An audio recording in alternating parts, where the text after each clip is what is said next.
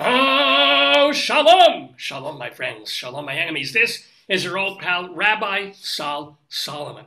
And I am founder and spiritual leader of Temple Sons of Bitches. And oh, oh, aren't we excited? We are waiting for the entrance into the neighborhood of a TV star. Well, here she is. Here she is. Looking gorgeous. Oh, my goodness. And, and even the framing, uh, uh, uh, except she froze. She momentarily froze. Come back, Kathryn Leigh Scott. Come back to us. Don't go away. Um, the spirit uh, Jim is calling you. I up, head, hello, move, wiggle a little bit. There you are. Hello. Shalom to you, Kathryn Leigh Scott. How are you? I'm good. I've got my morning coffee and I'm pleased to be here. Oh, I'm so happy that you have a refreshing beverage mm. to be with us. oh, did it spill? Oh, yeah, yeah. No, light. we're fine. I was just savoring the coffee. This is important. So your your voice seems okay. Your your video's a little bit on the freezy What's side. happening? Oh, there we go. Then just just try not to. I don't know. Maybe don't wiggle your foot because it's, it's taking too much bandwidth. I don't know where where where. Oh, there. I'm seeing you smiling. I think we're better. I think uh, you might freeze here and there, but as long as we can talk to you and hear you, this is good. So, welcome, by the way, welcome to the good. day. Good, good morning to you. How are you? How you? How's, uh, how are you? You're half frozen, is how you are. I'm. I. Uh, my family is in good health. Uh, I've got a wonderful boyfriend. how can I complain? All right. How did you meet your? I, I, I'm hoping it wasn't Grindr. How did you meet the boy that you're seeing now? How, how did I meet my boyfriend? Yes. Did you? Yes. I want to know to, to, share. How did you meet your, your current uh, beau? My, my boyfriend and I are well, well, we're both writers, and a mutual friend who's a writer said, you know, you really ought to meet this guy. He's really great fun um, as, as well, I lost my husband 12 years ago. He lost his wife four years ago, and uh, and um, or five years ago. Anyway, uh, we met um, just um, three years ago, and it's just been bliss. Oh, McMuzzle, McMuzzle. Now, do you see the big M word? I'm very lucky. Okay, it's very lucky. Do, no, you know, I, you know, I don't think so. Uh, you know, uh, I've been um, uh, I'm so lucky to have this wonderful relationship. I'm not sure that we'll get married. We um, we haven't really talked about that. It, it doesn't feel like it's wholly necessary. Well, yeah, but if you ever need someone to conduct the ceremony, yeah, my fees are listed on my website. So you, you it's just there out there, you know, and and I get to eat free at the uh, at the party. What a nice offer! Thank you, thank you. Now, I have not yet mentioned that why people know this woman, why they know Kathryn Leigh Scott.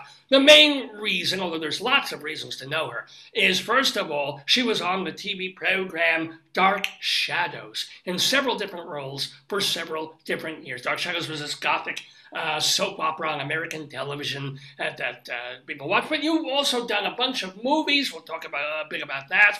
And you've written books, as you've already kind of mentioned. And let's remind everybody, she is going to be live. You can see this beautiful woman in person live. I mean, her boyfriend gets to do it for free. You can pay some money to go see her at the Mad Monster Expo 2023. This is happening in Concord, North Carolina in late August, August 25th, 26th, and 27th. For more information, go to madmonster.com. So, what are you going to be? Are you going to be signing things? Are you going to be uh, talking with people, performing? You're going to be juggling? What are you going to do at the Mad Monster? Now, the reason why I do these, uh, uh, and I don't do them very often, but I really enjoy meeting the fans of Dark Shadows. And of course, I, you know, I signed the books uh, mostly. Uh, Dark Shadows Return to Collinwood, which is a book I wrote several years ago about five decades of dark shadows. But it's also fun to just chat with fans, answer their questions, and find out about them. You know, so many kids, uh, you know, ran home from school to watch the show, and now we have uh, three, maybe four generations of, of fans who are still watching it because it's streaming. Uh, so to find out what their experience was, um, and I think because of the role that I played, Maggie Evans and Josette Dupre, uh, the main squeeze of uh, Vampire Barnabas Collins. Um, I can't tell you how many people say, You got me through a terrible childhood. The best memory I have was running home from school and sitting on the couch and watching Dark Shadows with my grandma. Um, and, and it's just, it's wonderful that oh, oh, to see the thing that you did uh, really an impact life. You're freezing a little bit, but we got most. Of, Were you a fan? Um. Oh, I, I wasn't old enough. I, uh, okay. I, am only uh, 26, so it's a, but I, am going to rediscover them on streaming and on YouTube. But let me ask, what is the funniest or most weird question a fan has asked you at one of these MonsterCom things? Oh gosh. I, uh, oh, I, I, get asked such crazy things. Well, first of all, you know, when people when you come into people's living room, uh oh. Every day, they get to know you as sort of a friend and expect me to talk about Pop, the guy who was played my father on the show, or my boyfriend Joe, or um, you know, they kind of uh, conflate Kathryn Leigh Scott, the actress, with those roles. So that's kind of funny because you have to gently, because it, it's meaningful to them, you have to kind of gently lead them back to reality. I mean, did you ever really come across like crazy people who live in that way? You know, think you're a vampirist, or they want to bite your neck or something, or, or be like Jonathan Frid? No, no, I, I like to think that the Dark Shadows fans are a, a cut above other other fans. They are um, fans of this program. I'll tell you that. Yeah. they uh, they they really um, they're really great fun to talk to, and a lot of them have gone into wonderful fields. Uh, you know, they they uh, they're very successful, and and it's fun to talk to them and and to see you know, what the little kid was that watched you on television and what they grew up to be. So no, I've, I've act- Uh-oh. fan that was uh, difficult to deal with. Let me ask. By the way, speaking of difficult to deal, is, is your boyfriend making breakfast over there? What the hell's going on in your place? I'm hearing like like china smashing and then forks and knives. Oh, I'm so sorry. Uh, you know what? It's it. Uh, it's Saturday morning. It could be a second cup of coffee. It could be the dishwasher. Wait until the Airedale comes through and starts barking. well, if you make me a bagel, toasted, extra butter, I will put you with a schmear. We'll do little lox. Could you? Would you mind? Would you a, a, a toasted bagel, a bit of smear. Okay, coming up. Dip it lightly in borscht, if you could. That would be a very beautiful okay. thing. All right, coming right up. so, but more seriously, tell us about your the first acting role that you got, whether it's in live theater or whether it was film that you remember that, that you did all the way back. What, well, my very first act, my very first acting role, I, think was when I was in second grade, and I wrote a play about George Washington, gave all the good lines to Martha Washington. That was my role. And uh, and then I, uh, I, we performed it for the the whole second grade class and it was wonderful experience.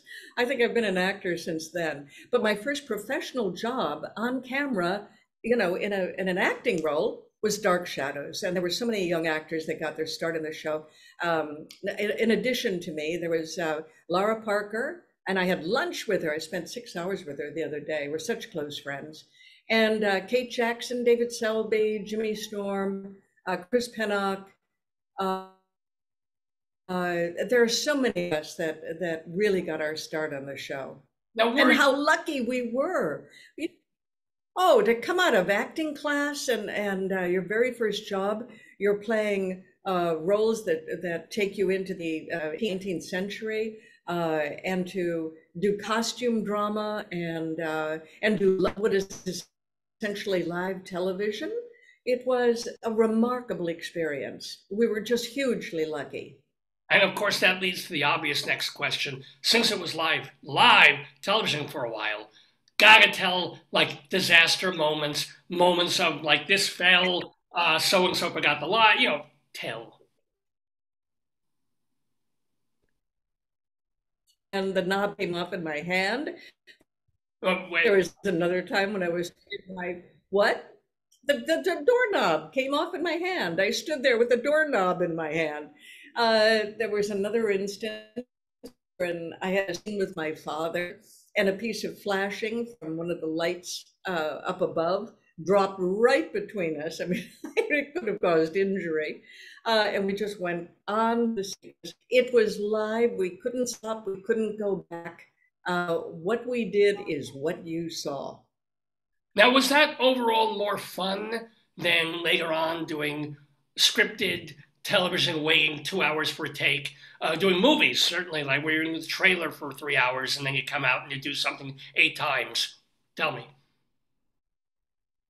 Well, oh, oh, what you're ta- are you talking about when we we switched from doing a television series and when, then when we did House of Dark Shadows, the movie, or, or even just you as an actress when you started um, other that was, things like when when when because you know that was live TV.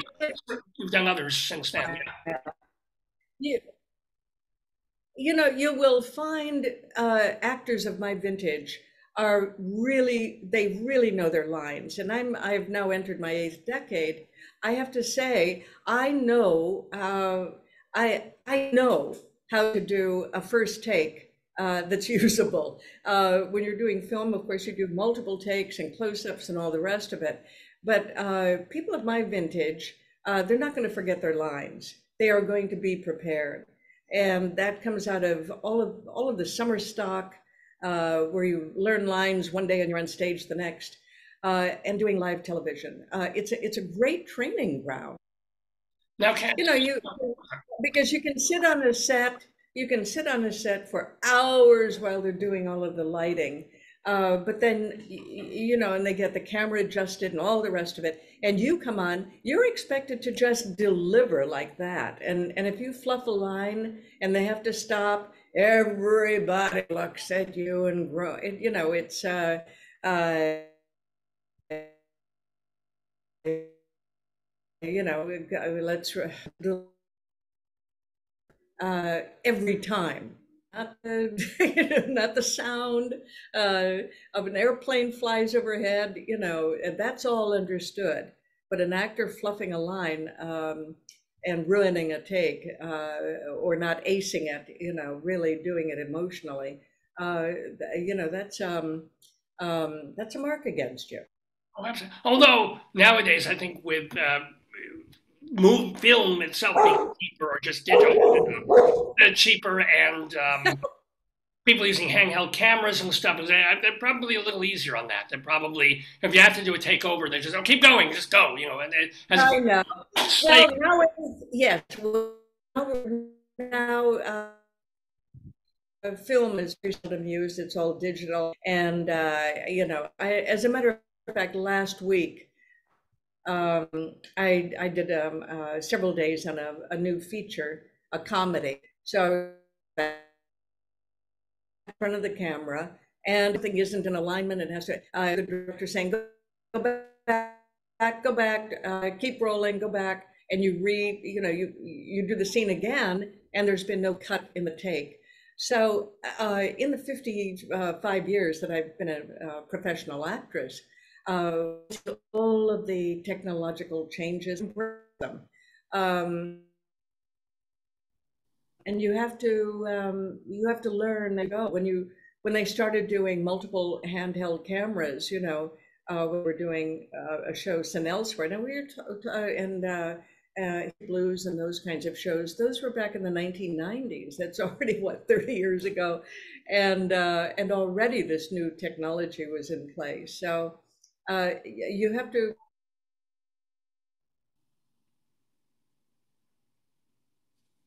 the times. I'm happy to do so. I want, I want to remind people we're talking with Kathryn Leigh Scott, and to kind of, I just so you know, Kathryn, if there's some pausing and whatever, have a lot of time you're freezing. So we're, we're just seeing, uh, like hearing nothing, seeing your face frozen, and then it sort of catches up sometimes, and sometimes we lose it. I don't think there's anything we can really do about that.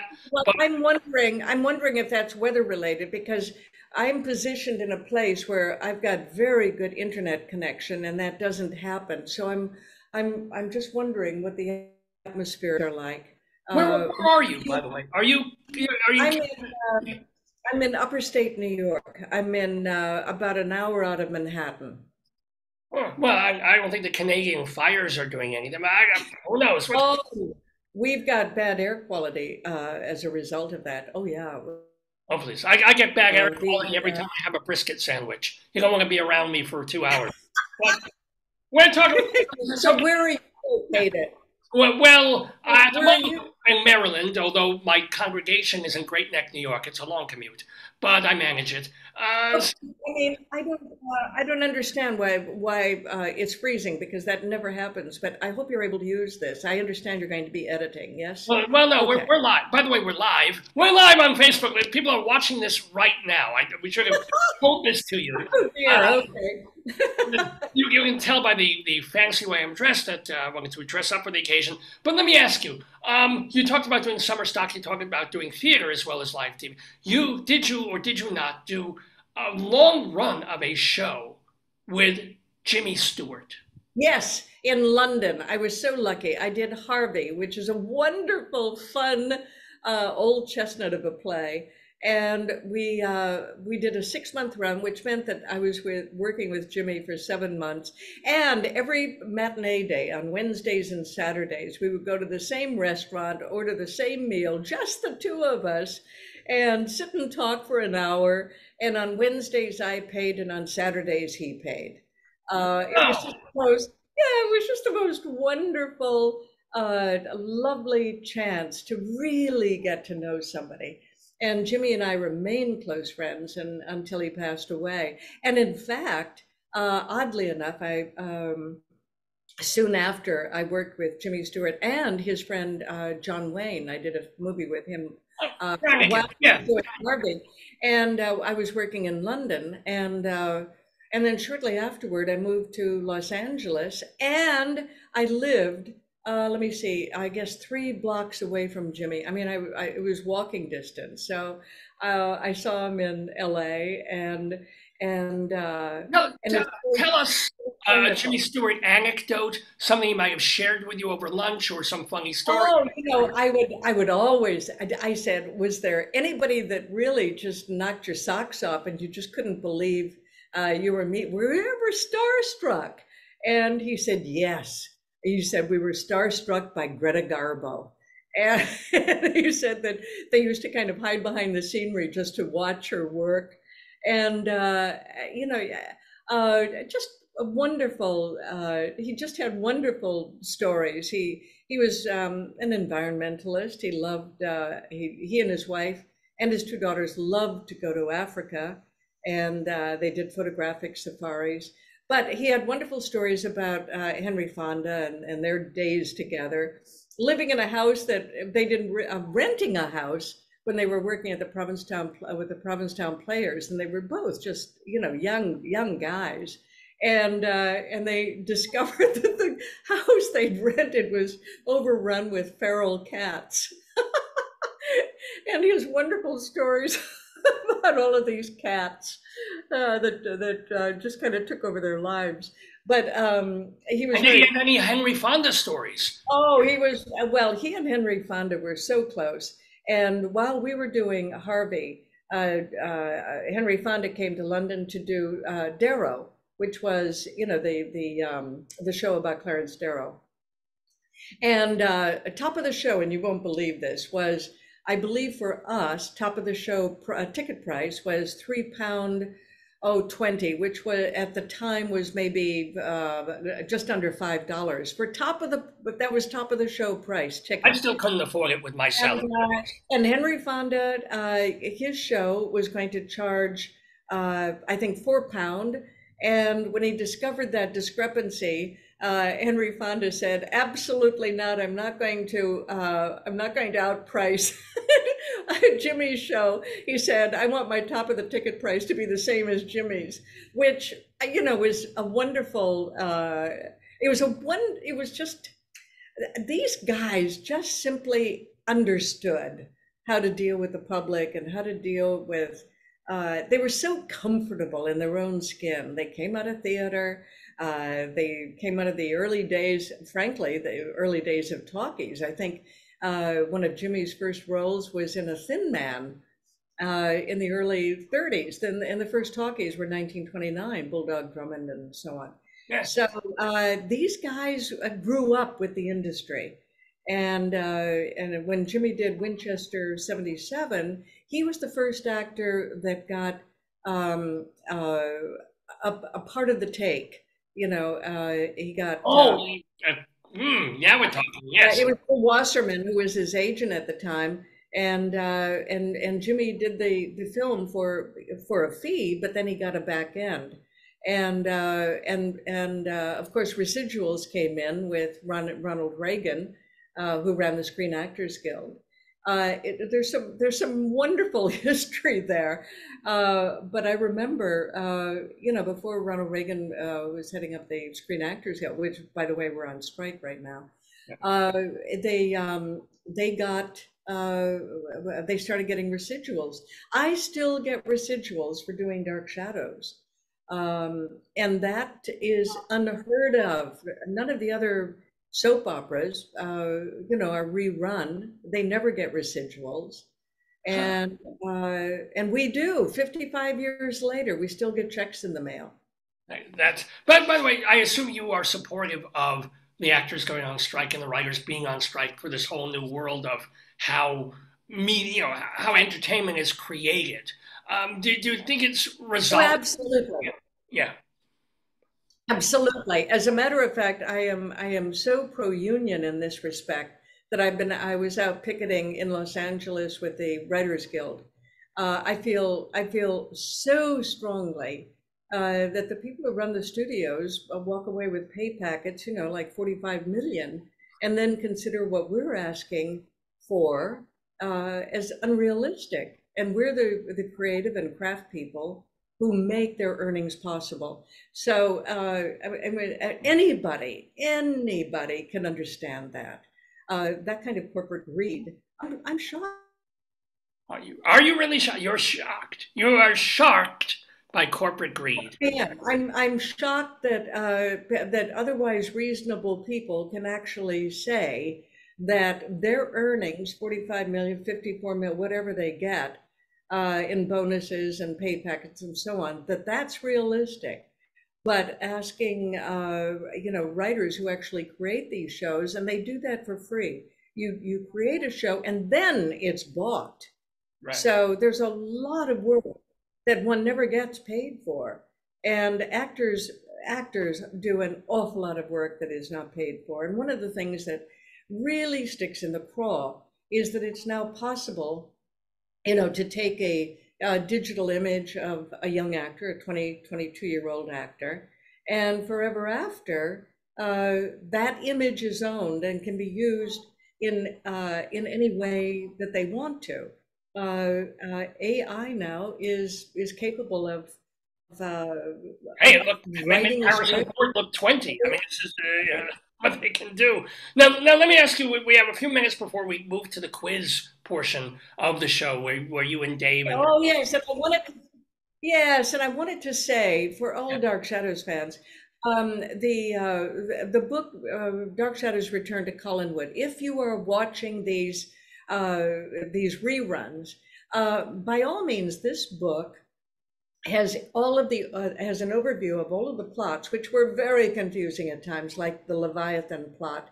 Uh, so if you've uh, if you've got the book, you can actually uh, read about what each episode is about, and it gives you all of these wonderful uh, behind the scenes anecdotes about what it was like to film that day and what happened. So uh, it's a real it's a real bonus if you're a Dark Shadows fan.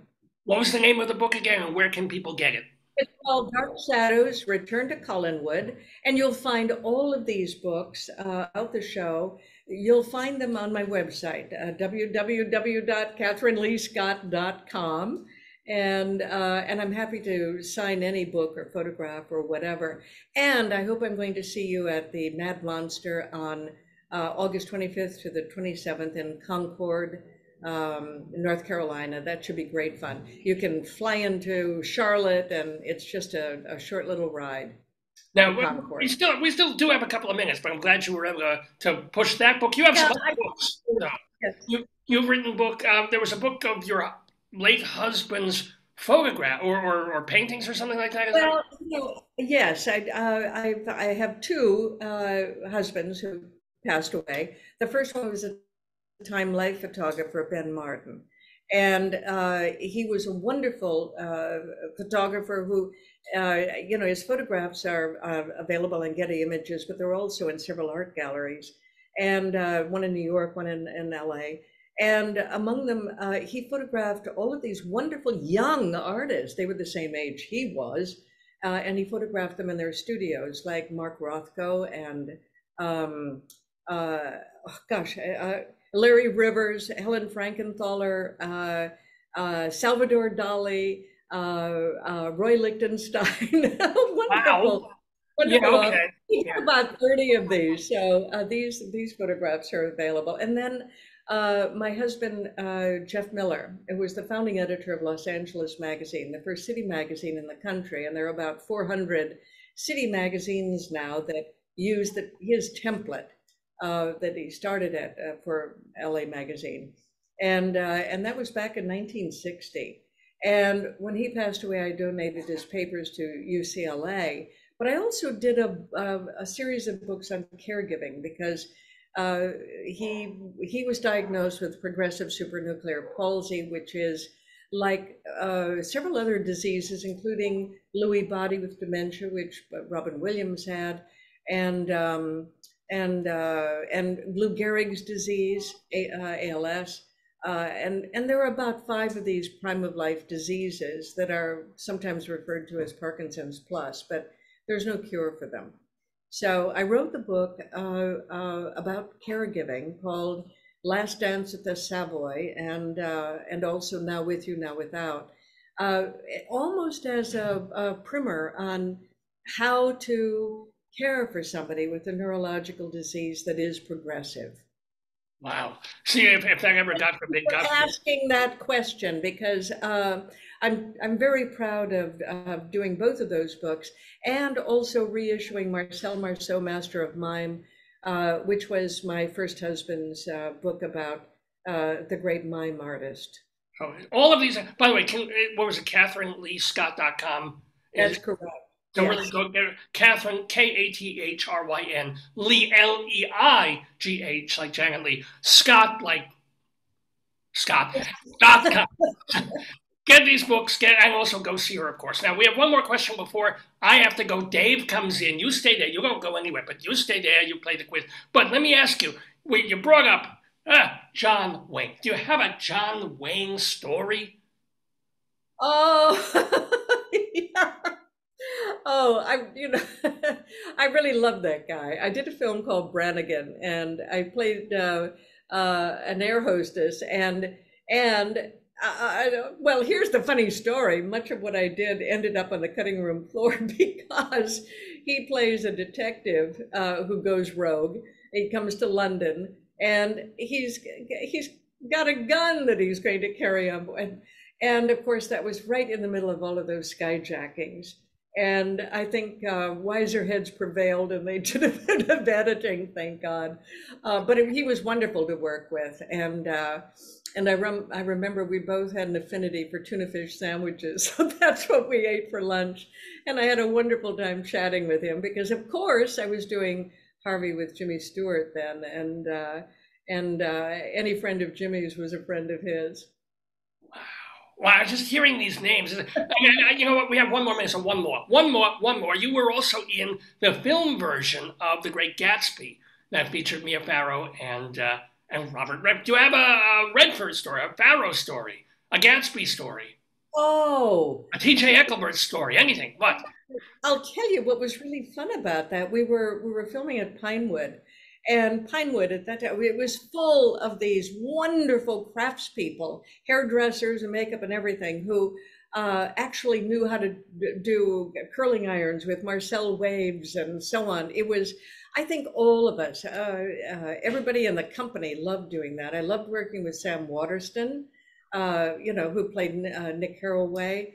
And uh, and I remember being on set when you know Mia Farrow and Robert Redford showed up. There was one scene that I was in where everybody was there, and and and just the um, the kind of camaraderie. There's you cannot, and I, I stress this, cannot be starstruck when you're working uh, with somebody. I was never starstruck working with uh, John Wayne or, or Dirk Bogarde, Lana Turner, Jimmy Stewart, Joan Bennett, any of them, because you can't do your work if you're starstruck. And and so as soon as an actor of that of that renown, put it that way, uh, comes on set and, and you start working with them, you are just two actors doing your job. This is, this is why you were able for the past half hour to talk to me without being frightened, without being nervous, without because because this is come on now I, I'm added to the canon up on that of extraordinary screen time that you've had with people. I mean, okay, Dirk Bogarde and then Rabbi Sol Solomon of course. We have been delighted. In the same breath. In the same breath. In the same breath. Well, with me, two breaths, because I'm a little short of breath these days. But we've been delightfully chatting with Kathryn Leigh Scott, who uh, is is um, one more time she's going to be appearing at the Mad Monster Expo 2023, August 25th through the 27th. Get your tickets at madmonster.com and buy her books at kathrynleighscott.com. Now,